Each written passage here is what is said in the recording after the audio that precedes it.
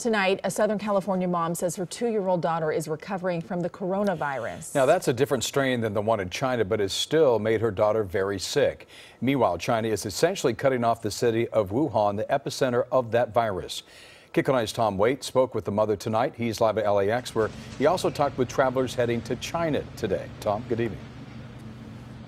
Good evening to you, Jeff and Sarah. Yeah, a lot going on with the coronavirus tonight. As you said, we spoke with that mother who is very concerned about her two year old daughter. More on that in just a second. But as you said, big precautions being taken from the area of Wuhan and here at LAX, where people are being screened, especially coming from that region.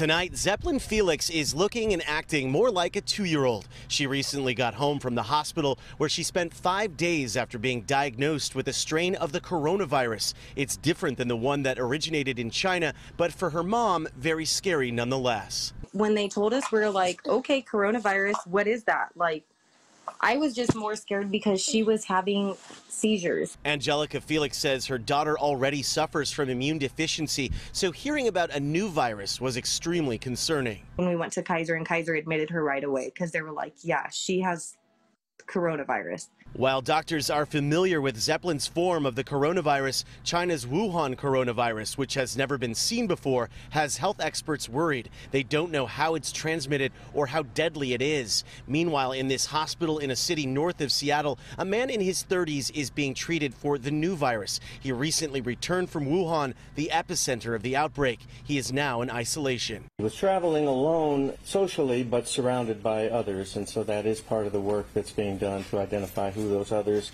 in close proximity to him that would need uh, follow-up uh, education and monitoring. Major airports in Atlanta and Chicago will be added as screening centers for passengers. Every person coming from that region will be rerouted through one of these five airports, including LAX, before they are allowed into the U.S. Anytime there's emergence of a new disease, it's concerning. But in this particular situation, we've been very proactive in putting in place measures to help protect the American public.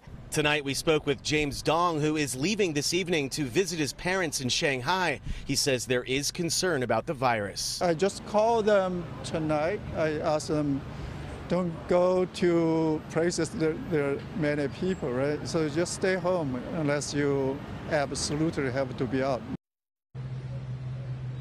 So you can see there the concern is very real for people traveling to China, and it's a very large country, obviously, but precautions being taken everywhere.